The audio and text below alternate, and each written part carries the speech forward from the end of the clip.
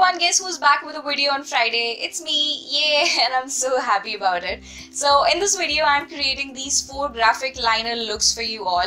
I would love to experiment with my liner throughout the Dandiya night and I think it's really cool. So yeah, here I am with four liners for you and I will be using this O3 Plus uh, liquid liner which is called Sketch Marker something and it's a pretty matte liner and it's jet black and it sets very quickly. So you have to work through it fast uh, especially when you're doing graphic liners because they need patience and time and if it dries out it will be really difficult to do it. So yeah for the first liner I am just going to make a fish tail sort of a thing at the end of my eye. I will do a regular wing first and after I am done with that regular wing now here you need to take your time okay? Just be um, patient and just go step by step take baby steps and then do the liner. Now once your upper wing is done i'm just going to make a you know half wing on the lower lash line as well. So it's going to be like a fish tail sort of a thing like the um, yeah i think i make sense here.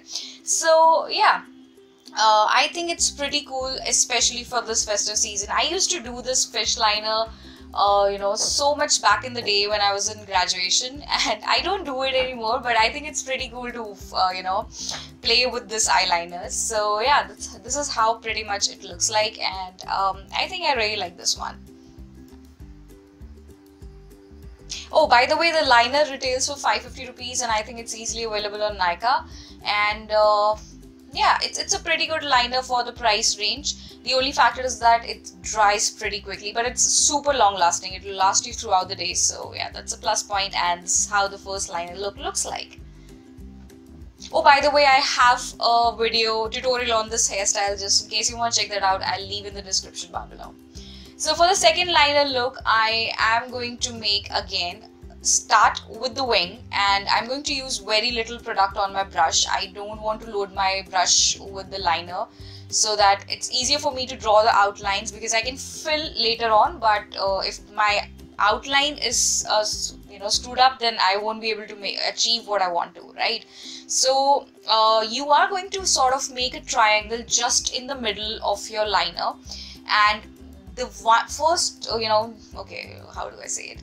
So one edge would be diagonal and the other edge would be uh, you know a 90 degree line okay? So it's going to be uh, uh, okay it's going to be a right angle triangle right in the middle of your liner. Now you can make a regular triangle as well. I think this was a little more edgy and looked pretty cool so i did like this uh, and i really like this one how it turned out and i think i'm going to spot it very soon on some on some occasion Then for the third liner, I am going to make a pretty flat wing. Now for this one, you cannot make a very, you know, angled wing. You have to do a very slant and flatter wing in simpler terms. And uh, don't thick, uh, make a thick wing at all. Just go with a very thin line and then right at the point where your eye ends, you have to make a perpendicular line and then, uh, you know, just at, uh, join the two ends and make a triangle sort of a thing over there and just fill in the triangle and you're done.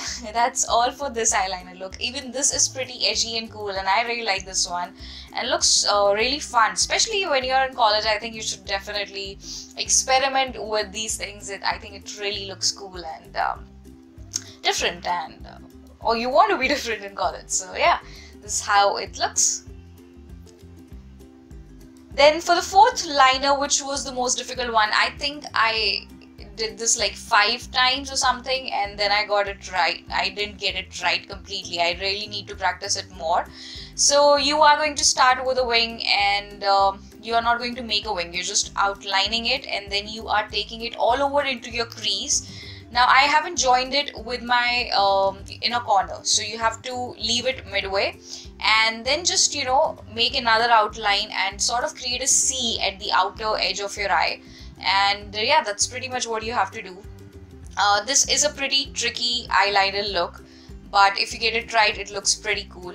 Now the shape of my eyes are different, so of course the end product looks different but I still like it. It's pretty edgy and you know uh, out of the box sort of a look.